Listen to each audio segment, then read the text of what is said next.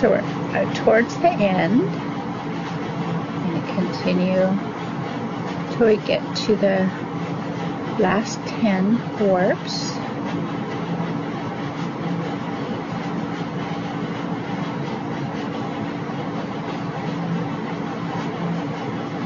There's the, the 10 that I had put aside. Put in a little bundle. So this one's going to go in the back. And the second one is going to go in the back. There we go. I like to give them a little loop to keep them together.